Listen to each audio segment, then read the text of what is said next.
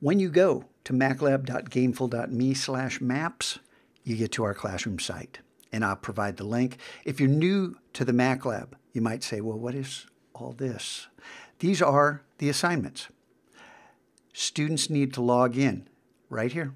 There's, that's how easy it is. You click login, there's a Google button, you click this, and then you pick your GUHSD.net email account. Now, once you're logged in, you have more icons up here, and things will turn yellow.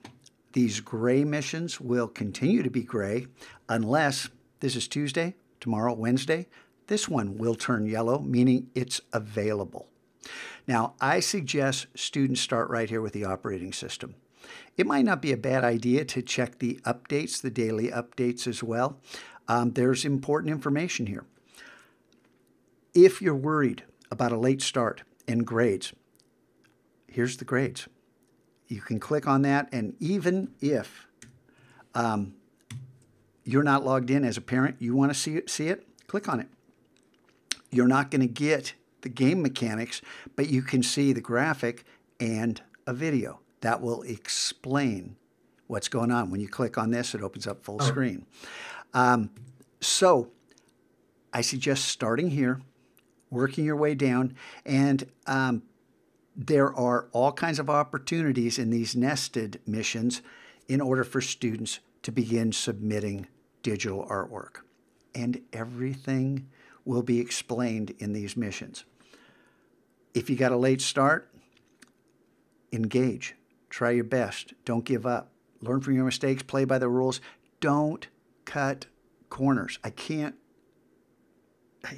I can't emphasize how important it is not to claim you've done something you haven't done.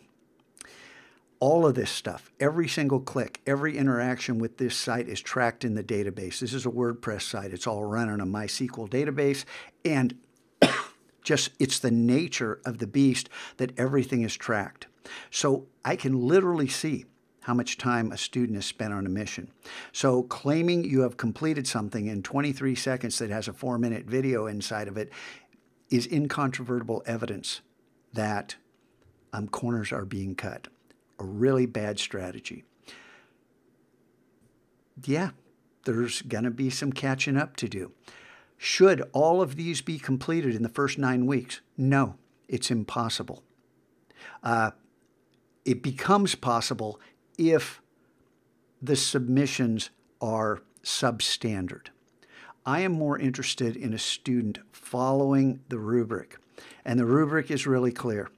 Try your best, don't give up, learn from your mistakes, play by the rules. A student who gives me those four things will learn. I guarantee it. Students who cut corners, I guarantee there will be some level of frustration. Both of us will have that level of frustration uh, because this is the key to an A, not the quality of the work. There are no tests. I have done this long enough where it's evident who is and is not paying attention. So, if you have any questions, first click on the missions right here. First, look and see what is my rubric? What are my grading policies? What in the world is that? Go ahead, explore a bit. Then I'll be happy to answer questions. All right, good luck.